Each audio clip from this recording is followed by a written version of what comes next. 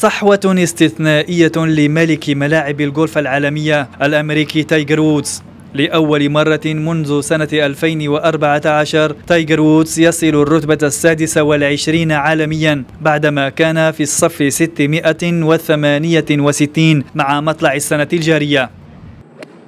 التصنيف الجديد لتايجر وودز جاء عقب حلوله ثانيا خلف مواطنه بروكس كوبكا في البطولة السنوية لرابطة لاعبي الجولف المحترفين في الولايات المتحدة الأمريكية في الثاني عشر من الشهر الجاري والتي تعتبر آخر الدورات الأربع الكبرى. ولحسن حظ تايجر وودز المتوج بأربع عشرة بطولة كبرى فصحوته في الترتيب العالمي قد تشفع له بالمشاركة في كأس رايدر التي ستستضيف تستضيفها فرنسا أواخر شهر شتنبر القادم. تايجر وودز قد يكون عنصرا ضمن المنتخب الأمريكي فقط إذا نال ثقة عميد الفريق جيم فوريك.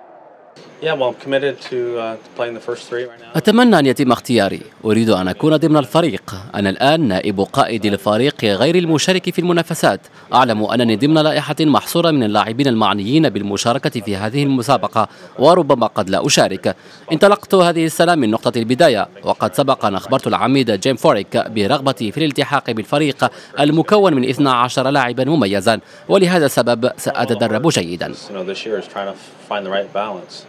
وغاب النجم الأمريكي تايجر وودز عن ملاعب الجولف بسبب إصابة على مستوى الظهر خضع بسببها لأربع عمليات جراحية في ظرف ثلاثة أعوام. كما تعرض للاعتقال من طرف شرطة ولاية فلوريدا الأمريكية في ماي من سنة 2017 بسبب استهلاكه للكحول أثناء القيادة ولم يفرج عنه إلا بعد توقيعه لتعهد بعدم تكراره لتعاطي الكحول.